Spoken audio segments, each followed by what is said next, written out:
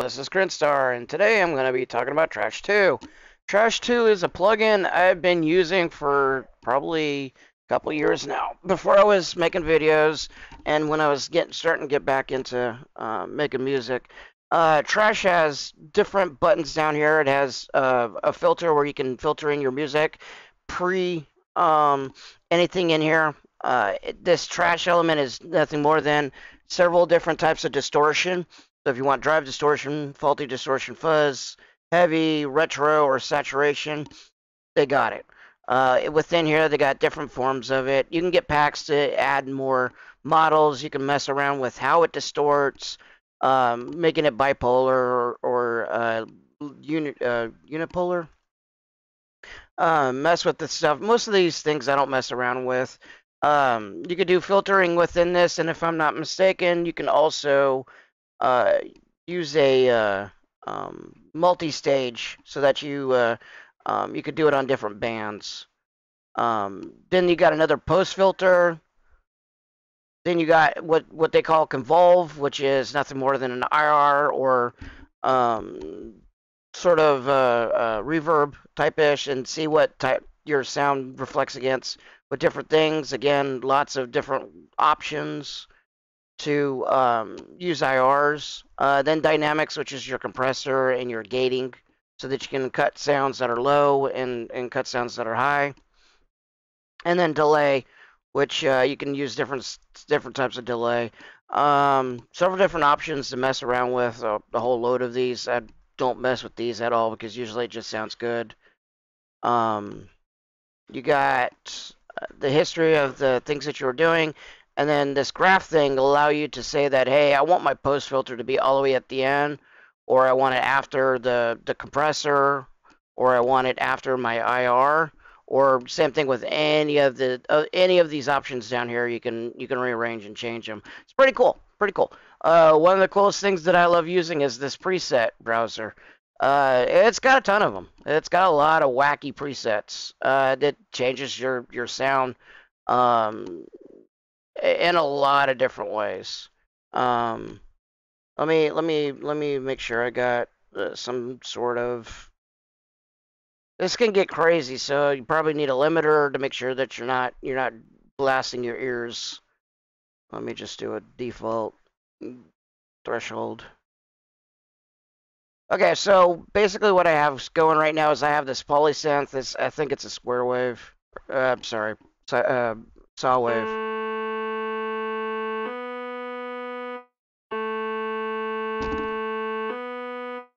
Nice and boring. So what we're gonna do is we're gonna we're gonna quote unquote trash it.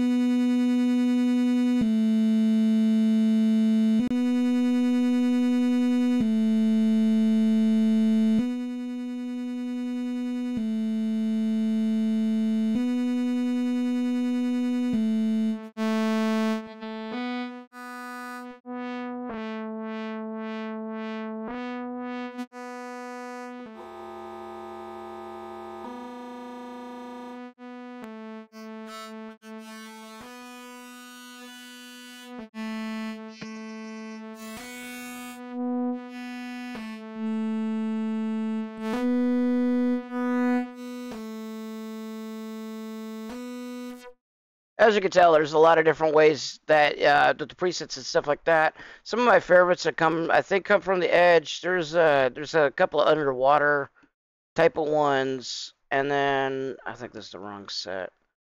Uh, classic.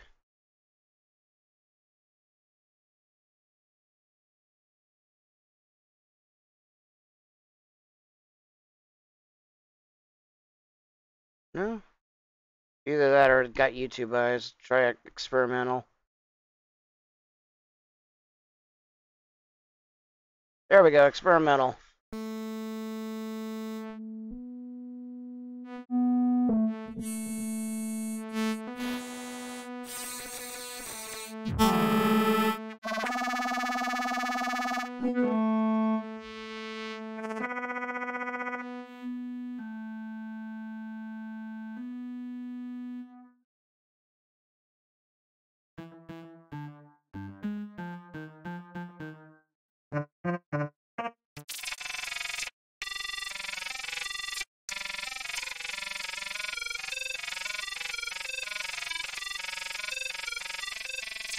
That one's great for gaming or or spaceship sounds.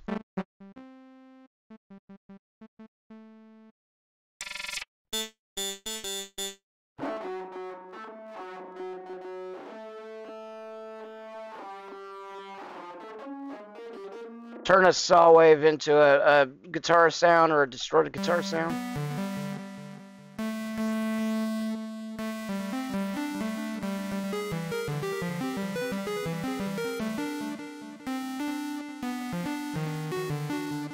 all kinds of all kinds of different stuff to and this is just a saw wave you can imagine what it could do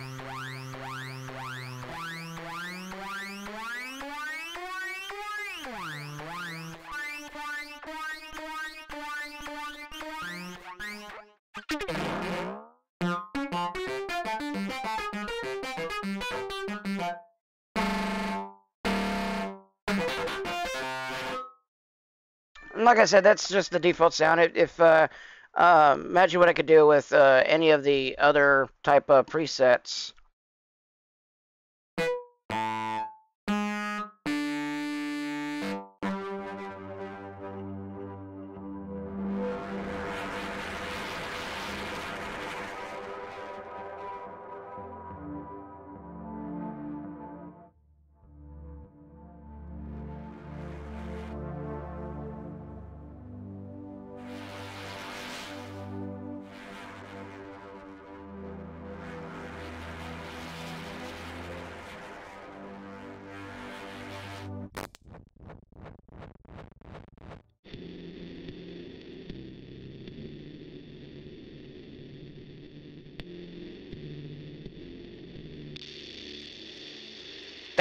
That's pretty cool.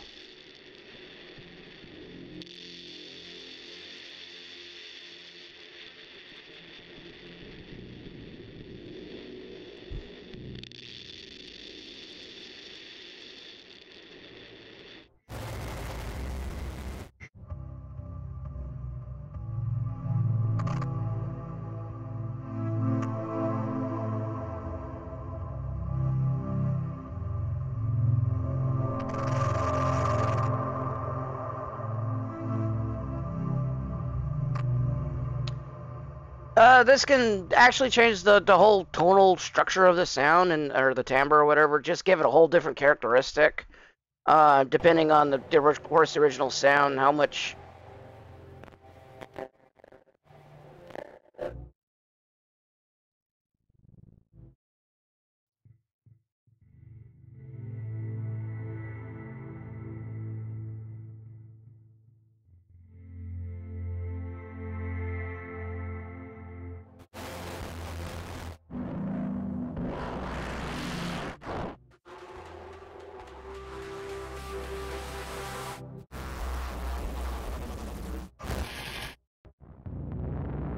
way to the downright crazy.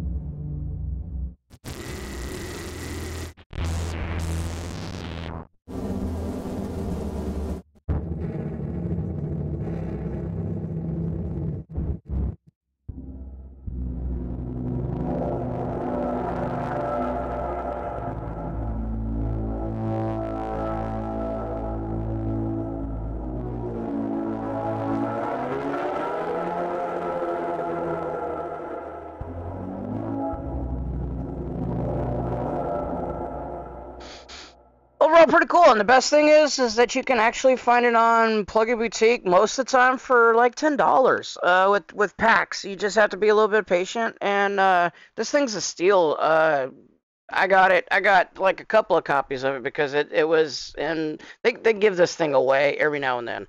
Um, it, it is a very awesome plugin um, for for the, the price that what it does. Uh, and I used it a lot. I, I still use it. Uh, you will you you probably have seen a lot of my videos with this thing. Um, among all the plugins I use, this one is the one I always choose when I want to go crazy on a sound. Because uh, it, it just it, it, the the things are really good. it's like the glitch machines um, stuff that that they they you can get some really crazy results with it. But it, it's uh,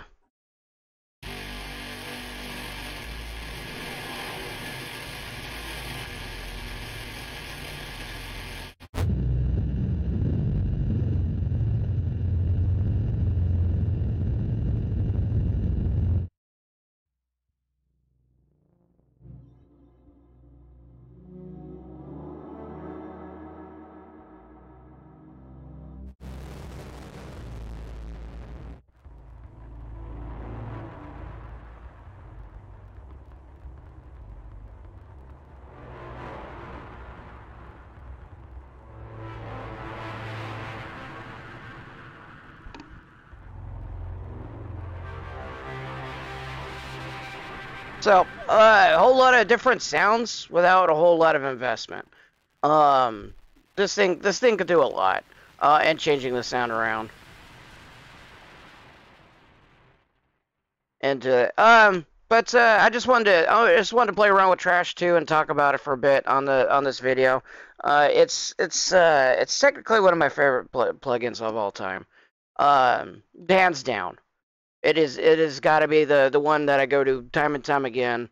Every time when I need uh need to, to take a sound and, and just see how crazy I can get with it with uh just a little bit of um uh distortion, a little bit of distortion, a little bit of IR, and how the IRs work um, for the, the impulse responses, and uh, gating, uh, creative gating and and and uh, compression as well as delay. I mean, this has this has like five of the things you put together. Can you do this in in uh, Bitwig by itself and and uh, Reason? Sure, sure. Um, but it's just yeah, like for ten bucks. This is really hands down easy, uh, easy stuff to to sit there and just uh, try to uh, find stuff that you normally wouldn't think about when you're when you're uh, trying to come up with something um, or come up with a different type of sound. Uh, is is what I'm trying to get. But uh, any rate, I appreciate you listening. If you if you uh, are are here this far, I appreciate the the support, and I will see you in the next video.